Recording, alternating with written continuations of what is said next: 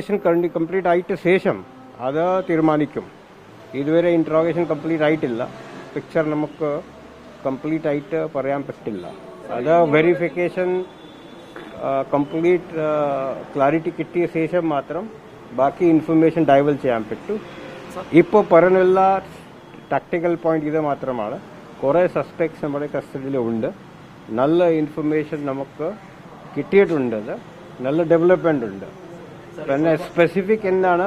അത് കംപ്ലീറ്റ് ആയിട്ട് ശേഷം പറയാം.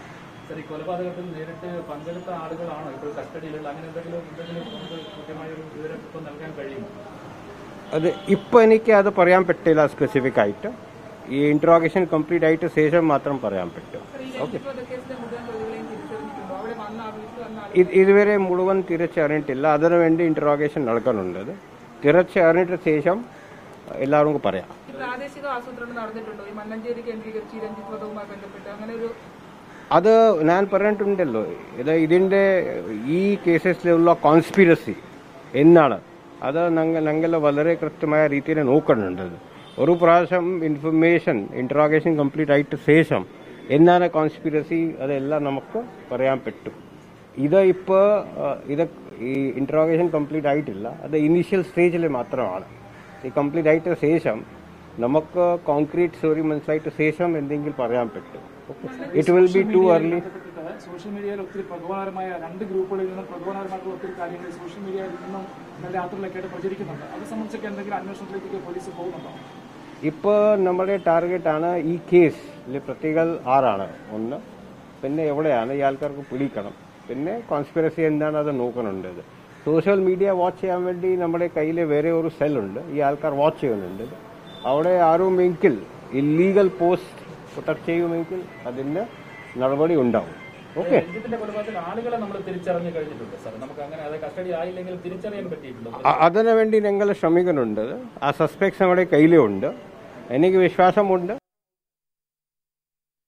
ആലപ്പുഴയിൽ ഇരട്ട കൊലപാതകങ്ങൾ അന്വേഷണ പുരോഗതി Vijay Sakhare I P S വിശദീകരിക്കുകയായിരുന്നു. ഇപ്പോഴും സോളിഡായി കാര്യങ്ങൾ പറയാൻ പോലീസിന് കഴിയുന്നില്ല എന്നുള്ളതാണ് ചിലരെ കസ്റ്റഡിയിലെടുക്കുന്നു അതുമായി ബന്ധപ്പെട്ട അന്വേഷണം നടക്കുന്നു ചില വാഹനങ്ങൾ കണ്ടെത്തുന്നു. അതിനപ്പുറം പ്രതികൾ ആരൊക്കെയാണ് പ്രതികൾ എവിടെയൊക്കെയാണ് ഇവർക്ക് വേണ്ടിയുള്ള തിരച്ചിൽ ഏത് ഘട്ടത്തിലാണ് തുടങ്ങിയ കാര്യങ്ങൾ പുറത്തു പറയുന്നതിൽ പരിമിതി ഉണ്ടെങ്കിലും നാൽപ്പത്തിയെട്ട് മണിക്കൂർ പിന്നിടുമ്പോഴും പ്രതികളിലേക്ക് എത്താൻ കഴിയുന്നില്ല എന്നുള്ളതാണ് ഈ സമയം പോലീസിനെതിരെ വരുന്ന പ്രധാനപ്പെട്ട ആരോപണം. അത് പറയാം. ഇന്റർവ്യൂ കഴിഞ്ഞ ശേഷം പറയാം. ഓക്കെ കുറെ ആൾ കയ്യിൽ ഉണ്ടല്ലോ. അതാണ് ഇൻവെസ്റ്റിഗേഷൻ പെട്ടെന്ന് ഐഡന്റിഫൈ ചെയ്തിട്ട് അറസ്റ്റ് ചെയ്യണം. അതാണ് നമ്മുടെ ഇപ്പോൾ ഇപ്പോ ഇമ്മീഡിയറ്റ് കാര്യം. പിന്നെ കോൺസ്പിറസി എന്താണ് അതിന് ശേഷം നോക്കും. ഇപ്പോൾ ഇത് സസ്പെക്ട് ഇൻട്രോഗേഷൻ ചെയ്ത ശേഷം മാത്രം മനസ്സിലാക്കാൻ പറ്റും. അത് നടക്കുന്നുണ്ട് അത്. കഴിയ കഴിയട്ട ശേഷം ഷെയർ ചെയ്യാം. ഓക്കെ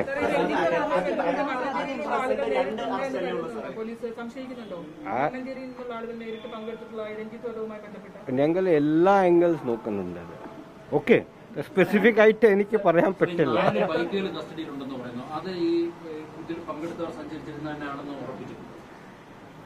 അത് നടക്കുന്നുണ്ട്. അത് സ്പെസിഫിക് ആയിട്ട് ഞാൻ അതുകൊണ്ട് പറയുന്നില്ല കുറെ ഇൻഫർമേഷൻ നിങ്ങൾ എല്ലാവർക്കും അറിയാം. ഓക്കെ പക്ഷേ I cannot confirm this right now unless the story is completely clear to us okay ഒരു ഇൻവെസ്റ്റിഗേഷന്റെ ഭാഗമായിട്ട് കുറെ ആൾക്കാർക്ക് നിങ്ങൾ കേസ് കസ്റ്റഡിയിൽ എടുക്കാറുണ്ട് ഇന്ററോഗേറ്റ് ചെയ്യാറുണ്ട് അതിന്റെ ബേസിസിൽ നമുക്ക് ഒരു തീരുമാനം എടുക്കാൻ പറ്റും. ഇൻഫർമേഷൻ കംപ്ലീറ്റ് ആയിട്ട് ശേഷം തീരുമാനം എടുത്ത ശേഷം ഇൻഫർമേഷൻ ഷെയർ ചെയ്യാം. ഓക്കെ കസ്റ്റഡിയിലെടുത്തതായി പറയുന്നത്. പ്രിവെന്റീവ് അറസ്റ്റ് ആണ്. എങ്ങനെയാണ്? കൗൺസിലർക്ക് എന്തെങ്കിലും തരത്തിൽ ബന്ധമുണ്ട്? നമ്മുടെ ഈ സ്ട്രാറ്റജീന്റെ മൂന്ന് ഭാഗമുണ്ട്. ഒരെണ്ണാണ് law and order situation maintain ചെയ്യണം. രണ്ട് സംഭവം സംഭവിച്ചിട്ടുണ്ട്. അതിനുശേഷം യാതൊരു ഇൻസിഡന്റ് ഉണ്ടാവാൻ പാടില്ല. അതിന്റെ ഭാഗമായിട്ട് നമ്മുടെ സ്കീമുണ്ട് മൊബൈൽ പെട്രോളിങ്സ് ഉണ്ട്. കുറേ നാക്കാബന്ദി ഉണ്ട്.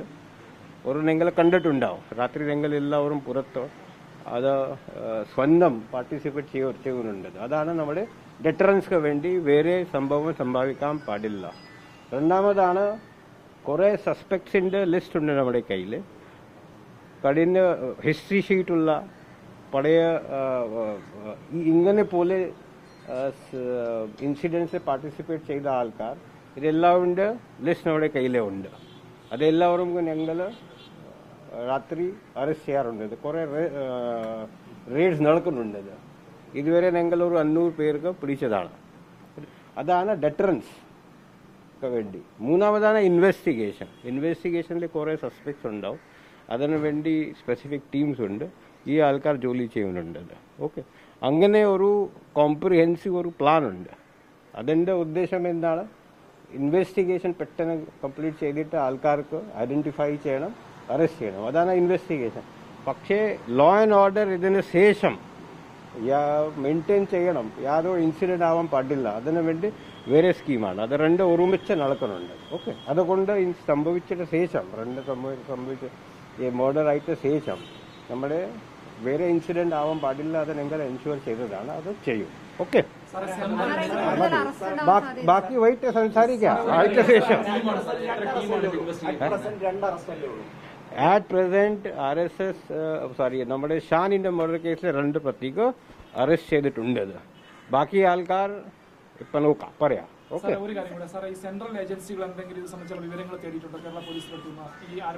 അത് അത് എനിക്ക് അറിയത്തില്ല നമ്മുടെ എസ് ഐ ടി ആണ്.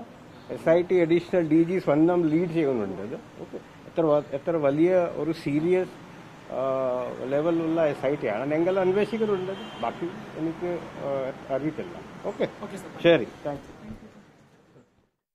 രണ്ടുപേരുടെ അറസ്റ്റ് ഷാനിന്റെ കൊലപാതകവുമായി ബന്ധപ്പെട്ട് സ്ഥിരീകരിക്കുന്നതിനപ്പുറം പുതുതായി കാര്യങ്ങളൊന്നും തന്നെ വിജയ് സാക്കറെ വ്യക്തമാക്കുന്നില്ല. അന്വേഷണത്തിൽ പുരോഗതി ഉണ്ട് എന്നാണ് ഇപ്പോൾ ഉന്നത ഉദ്യോഗസ്ഥൻ പറയുന്നത്.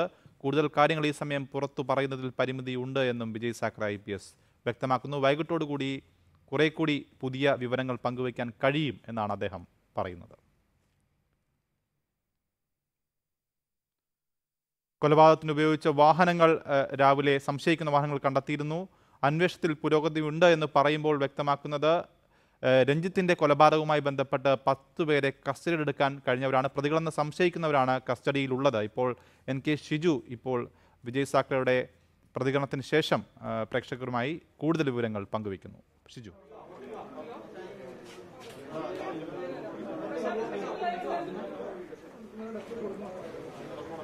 ഷിജു കേൾക്കാമോ